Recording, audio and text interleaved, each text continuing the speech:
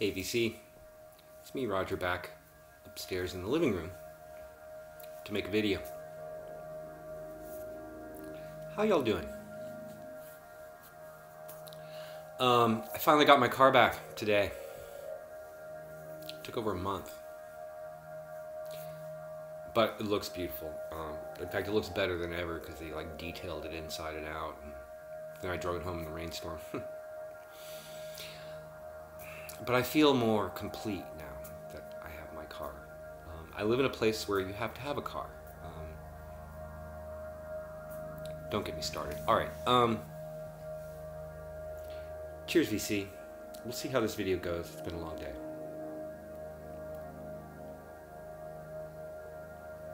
So yeah, it took more than a month. So that means it's been more than a month since I've done a vinyl update. And even though I'm driving around the stupid rental car, it did the same thing as my car. I would wind up at, at the record store. You know, I'm out doing other things, you know, stuff I gotta do, and I find myself at the record store. How about that? All right, but first I want to thank DJ Trish for once again sending me some CDLT. Including a nice note and some stickers. Such a sweetheart. Um, yeah, so we have Cocktail Hour 2016, which is jazz stuff. And then we have uh, wow, two-parter here. Back to the Beach, parts one and two. Got this hot babe here. Um, yeah. Um, fantastically eclectic taste. Um, and I so appreciate that you think of me. Um, and I, I started to pull aside a little pile of CDs for you. And maybe for Christmas, I am so lame about getting my act together. But really, Trish, I, I will hit you up because I really do appreciate this so much. So, thank you. Um,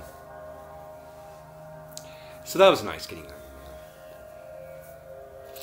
So, records, vinyl records. Um, I don't even know where to begin here. Uh, let, let's start with Bob Dylan's new record. Fallen Angels on Columbia. Uh, more him crooning the standards.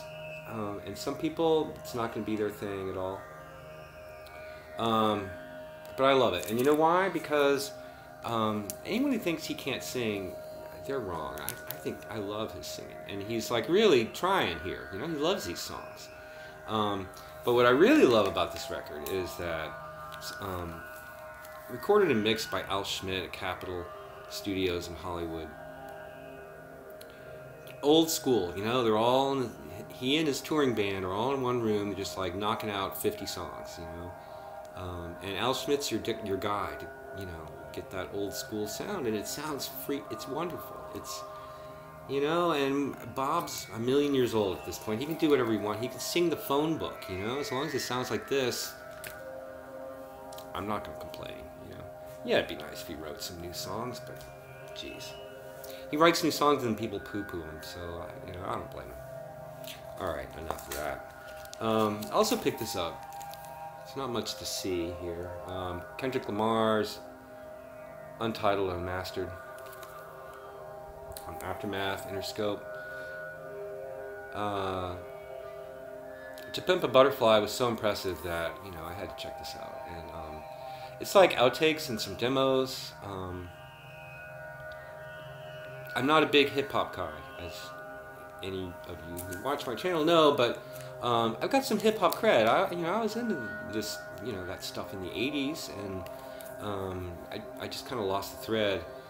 Um, but this is it's so great because it's not just like beats and rapping. It's like some singing and some soul and some there's some bossa nova and there's like um, you know kind of a tossed off acoustic guitar thing. I mean, it's so creative and so genre hopping. You know that um, I can't help but totally respect it. What, what can I say? You know? I still feel like that stuff's not really for me, but I can totally respect where it's coming from and what it's doing.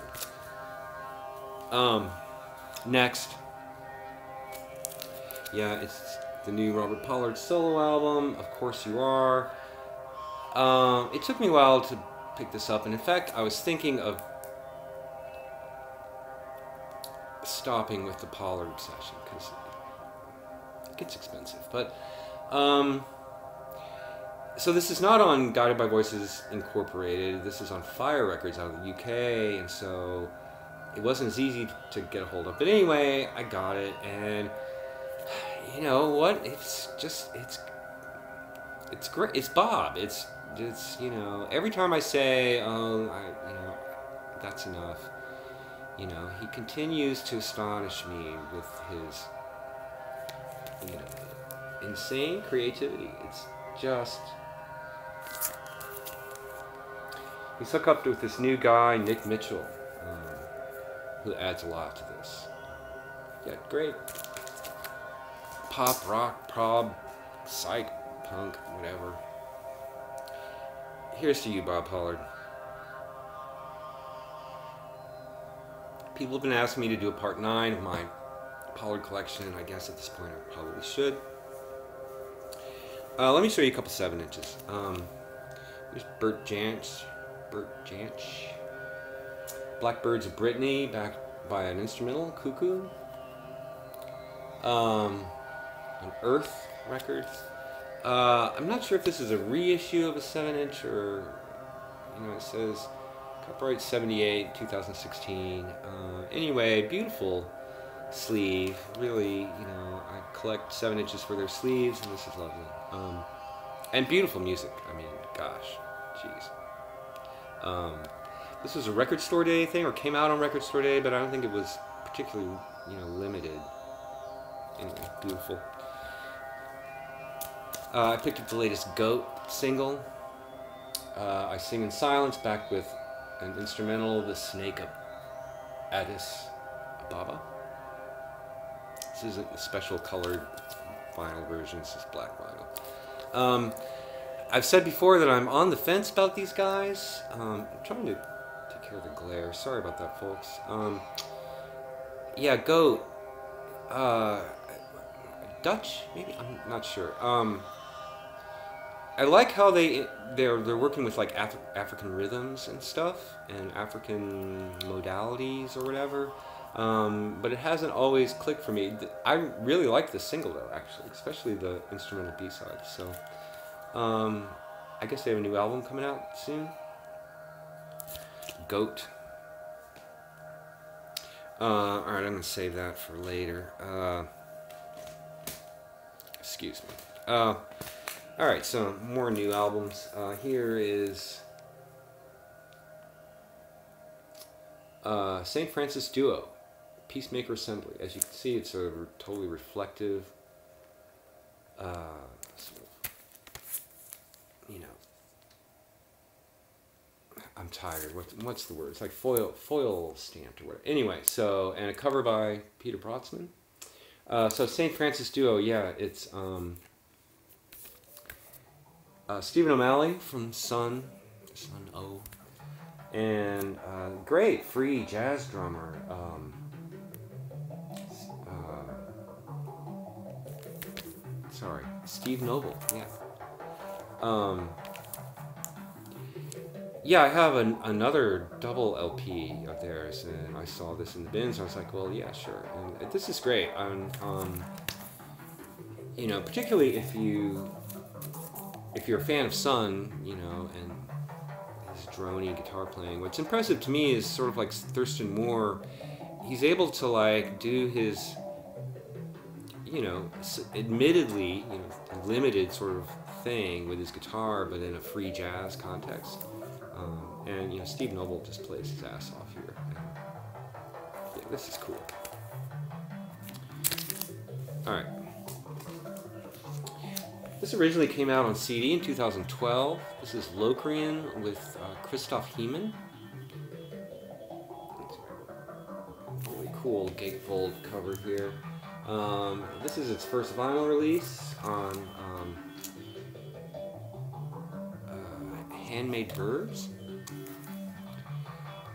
Yeah, Locrian is a band I've talked about a lot. Um, I, really dig them. Experimental metal, I guess, kind of drony, but not not like not like Sunn really. More darker, if you can imagine, and uh, more synths and dark ambient thing. I I, I love this. This is great. Um, I don't know much about Christoph Heemann. He, he does like electronics on this. Uh, mostly instrumental, a little bit of shrieking, you know, but yeah, great. All right, moving on to some reissues. Folks have been after me to get these, and I wish I jumped on them sooner, really. Um, uh, this Heat, um, originally on Piano Records in uh, the UK, when it came out like 77, 76, 77, 78, I'm not even sure, around that time. Um, now this is the first, the first edition of the re, you know, the reissue that has this nice obi, and it's a gatefold and all that kind of stuff. Um, and there's this, and then there's reissue their 12 inch uh, health and efficiency. Uh, found these at Grimey's, but um, the main one, uh, Deceit, I had to get the repress, which is not in a gatefold, doesn't have the obi. Um,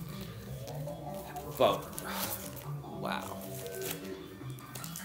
Now, this heat was kind of on my radar back in the 80s, but these things were never issued in the US. And um, I think I might have remembered seeing this around maybe because it was on Rough Trade. Um, but you know, I, I missed out. And I was aware of Charles Hayward through his work with Bill Laswell, who I was into in the 80s and 90s and early 2000s. But holy cow, is this a brilliant debut? Uh, what, what do you call this? I mean, it's recorded in like 76, 77, so punk, but it's already post-punk. It's already, it's so experimental. Um, it kind of reminds me why post anything is a really lazy way to talk about anything, you know, because post what? Well, well then what? You know what? This stuff sounds so fresh, you know. When you think about like I don't know the Sex Pistols, you know, punk, that stuff sounds pretty conventional nowadays. This this will never sound conventional. yeah, so great. And of course, on their 12 inch, they're moving in a, on the first side a more rock kind of direction. Um, but the B side is a multi-speed kind of drone. You can play it at any speed, um, which I checked out. It was pretty fun. Um, and then this was their last album. It came out in like 79, no, 81. Uh,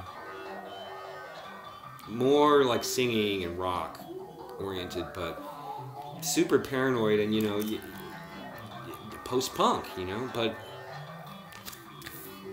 you know, punk punk was post before it ever even got started.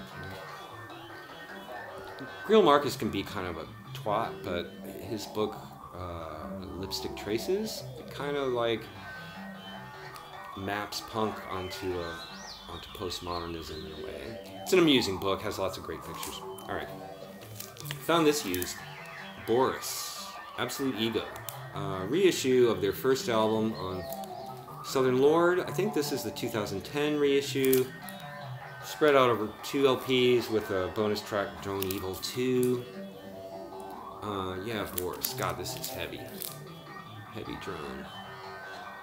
Psyched to find this used a grimy, so it was, you know, half the median price of what it goes for on Discogs.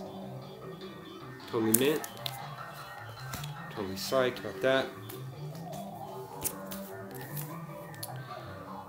Here's uh, first UK pressing of Joy Division's Unknown Pleasures. You might be thinking, Rodger, why don't you you already own that, right?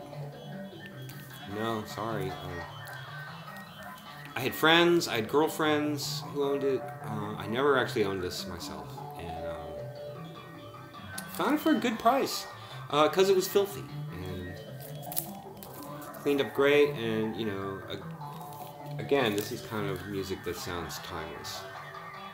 It's of an era, but will never sound dated. Excuse me.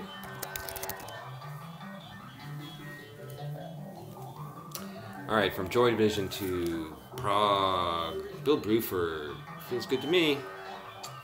Now that cover is horrible, uh, but it was original UK Polydor from 1977. It's got a great lineup of people playing on it, especially Dave Stewart, not the Eurythmics guy, but the Canterbury keyboard player, brilliant. Allan Holdsworth, Annette Peacock on vocals, Kenny Wheeler on trumpet, Jeff Berlin on bass. Uh, and this is great. This is really great. Way better than the cover. What an awful cover. Um, yeah, super happy about that. Uh, this too, I've been kind of looking for this. Uh, Phil Manzanera, 801. Uh, Listen Now. Original UK um, Polydor from 1977. This clearly came from the same collection. Um, cheap again, but it was filthy, and I cleaned it up, and it plays great. Uh, yeah, Phil Manzanera from Roxy Music, uh, Eno's on this, um, Eddie Jobson, a lot of those folks, uh, Mel Collins, uh, yeah, Prog. Terrific. All right, now this next one.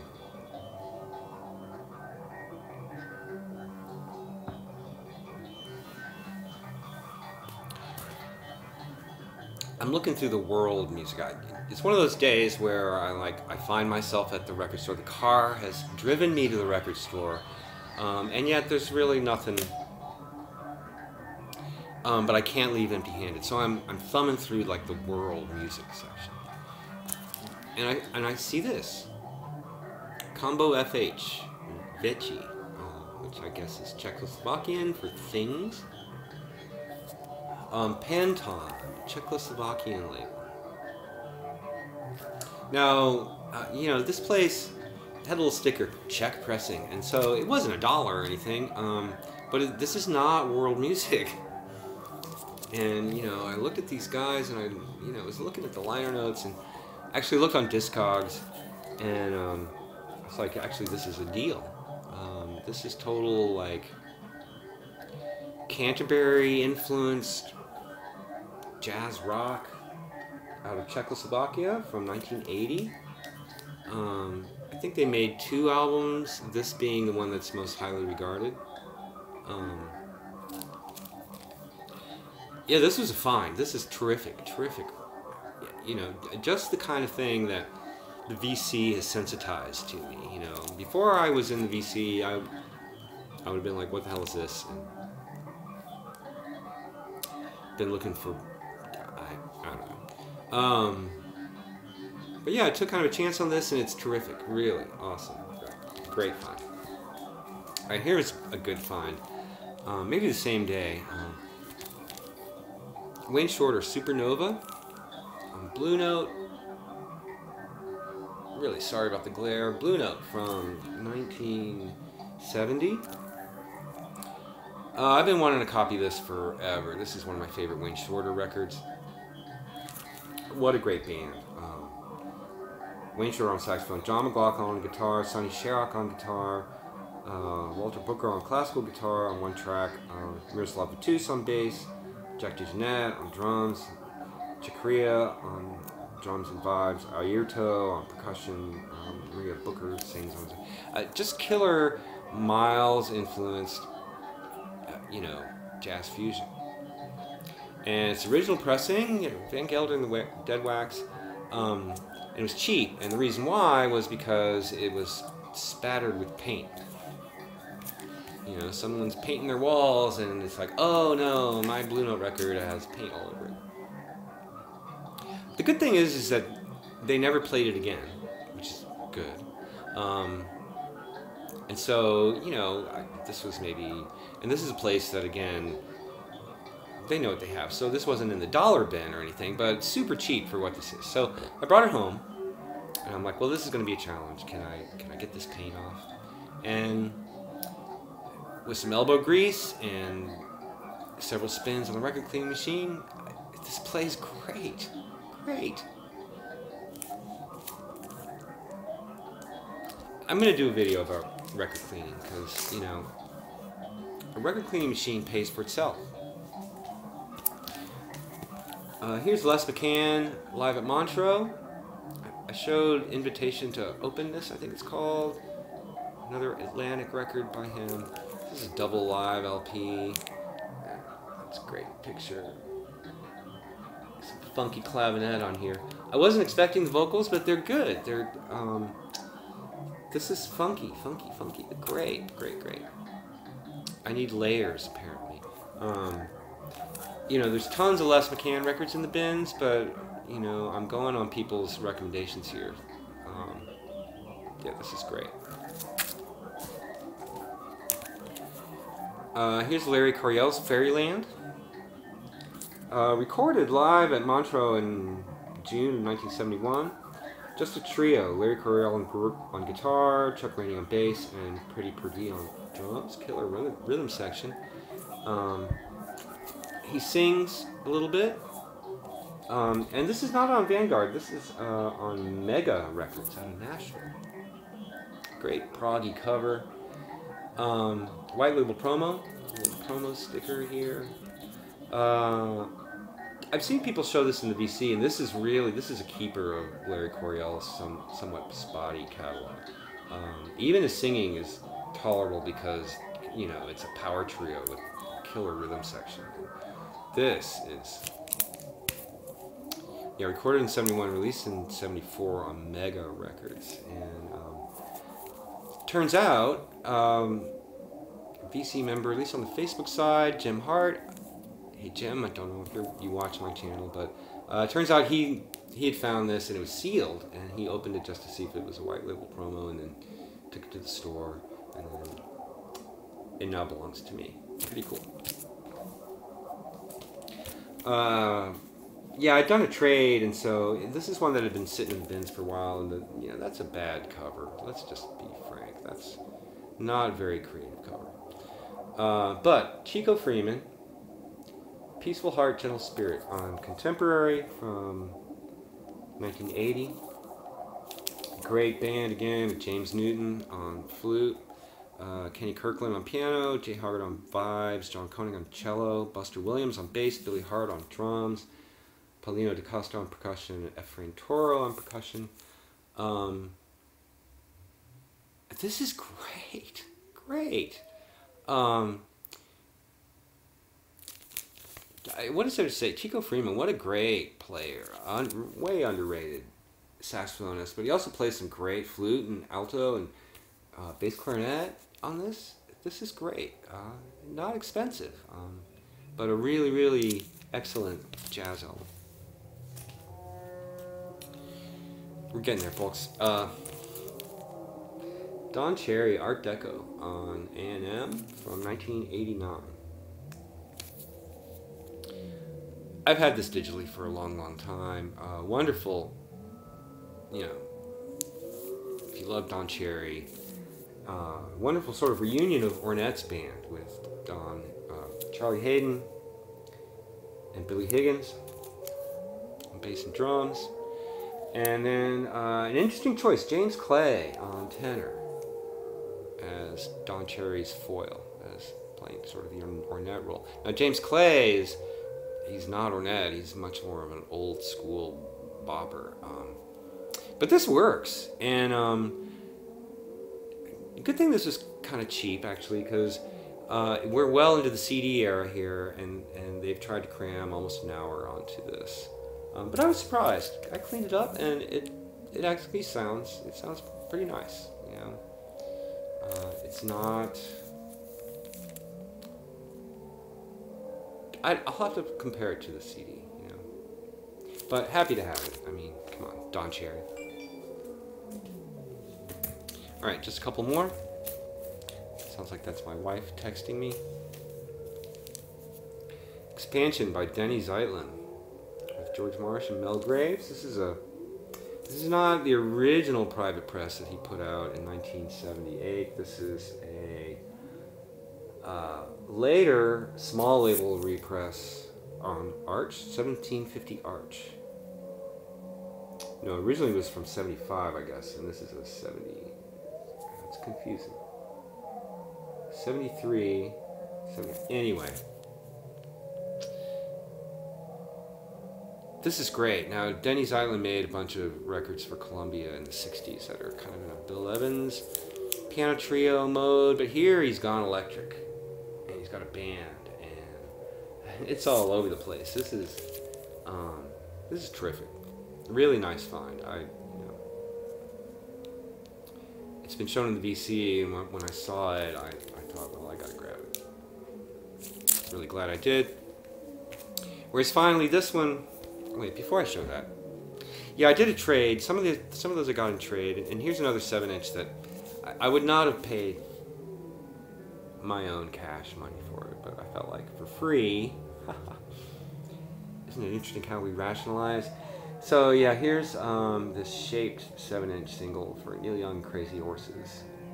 Uh, Southern Pacific, backed with Motor City from the Reactor album, which I have bought back in the day, 1981. Uh, this is just something you don't see around, and you know, I thought of Tim Guthrie. Hey Tim, if you're watching, I doubt you are, since you're traveling the world at the moment. Um, so yeah, this opens up.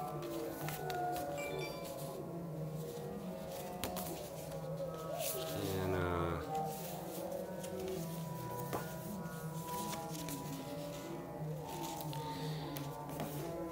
and then inside is this shaped 7 inch. Now I didn't get this to play. Um, I just got it to have. Um, I'm uh, I run hot and cold with Neil Young, um, but at the time, 1981, you know that album Reactor is pretty heavy, some nasty guitar sounds. Uh, anyway, this is a cool object to have. All right, finally, last and least, because I really wasn't very impressed with this, frankly. Uh, trio Comprovisations by Regan Rizik and on piano with Larry Goldman on bass and John Vasta on drums. Um, I mean, actually, it, it's okay. It's a private press thing on Happening Records from 1981. Uh, I think he only made a few records, although I looked him up. He's still active in New York, I think playing kind of a piano bar thing, not sure. Um, trained musician, went to Juilliard, I think. Um, he can play, you know, all these guys can play and sometimes it, get, it gets interesting, um, but it's a little more inside than I than I want from my private press jazz. Let's put it that way. Uh, on the other hand, you know, I traded for it. It had been sitting there for a while, so I thought, why not? And um, the wife liked it, so that's reason enough to keep it, right? Thanks for hanging out, people. That was a long video. Probably watch it before I upload it, and if it's too, if it's too too, I might spare you all. Cheers again. Um, thank you all for your response to my last video about the Satie scores and my piano playing. Um, I really hesitated before making that video. I thought, well, very few people are going to be interested in that. But um, anyway, it was gratifying. Very, very gratifying. Cheers, VC. Um, you know me. I'll be back soon.